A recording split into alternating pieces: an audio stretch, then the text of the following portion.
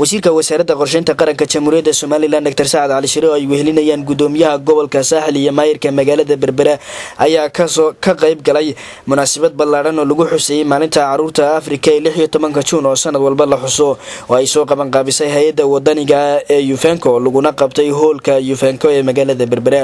Ugu horeyna waxaa munaasabadaasi ka hadlay muhiimada ay leedahay maalintani gudoomiyaha hay'adda wadaniga ee yufenko cali jaamac caraale waxaana uu ka hadlay xuskan oo uu sheegay inay dhinaca maaliyadda ka taageereen hay'adda save the children. Gudoomiyuhu waxa uu ka hadlay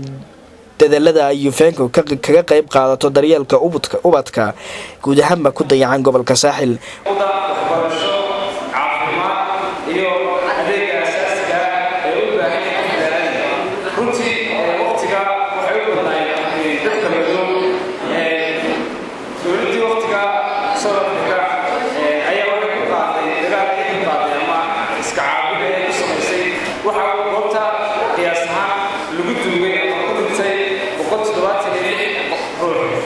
wasiirka wasaaradda qorsheynta qaranka doctor sacad xaaji cali shire oo ka waramay carruurta iyo xaqa ay u leeyihiin inay waxbartaan isagoo ku booriyey waalidkuna inay ubadka baraan diinta islaamka iyo aqoonta maadiga. Waxaana xusay wasiirku in loo baahan yahay tirakoobyo la sameeyo carruurta guud ahaanba gobolka joogta kuwa darbajiifka kuwa dayacan iyo waxa ay u baahan yihiin inta xafladahani ay socdaan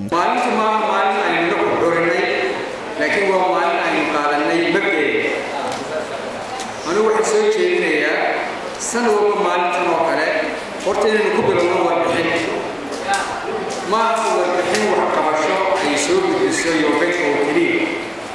laakiin inaynu marka hoose ku bilowno warbixin ku saabsan xaaladda carruurteedu ay ku sugan tahay gobol ahaan iyo magaalo ahaanba imise carruur ayaynu leenahay maxay ku sugan yihiin? Imisa waxbarashada?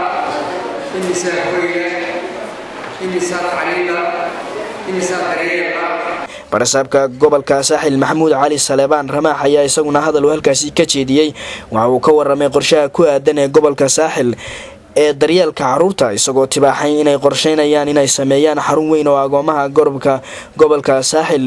lagu xanaaneeyo oo laga hirgeliyo gobolkani. Waxaanuu tibaaxay in loo baahan yahay in laga wada qayb qaato dhismaha xaruntaasi. Maayirka magaalada berbere cabdalle maxamed carab ayaa isaguna hadal halkaasi ka jeediyey waxa uu tilmaamay in carruurta dirbajiifka ay ku soo bateen magaalada berbera isagoo xusay in ay taasoo arkaya kuwii aabbaha lahaa oo iyaguna dirbajiif ah loona baahan yahay inay waalidku daryeelaan carruurta kuwa aan waalidka haysanna ay wax ka qaban doonaan islamarkaana ay dowlad hoose ahaan ka qayb qaadan doonaan dadaalada lagu horumarinayo carruurta derbijiifka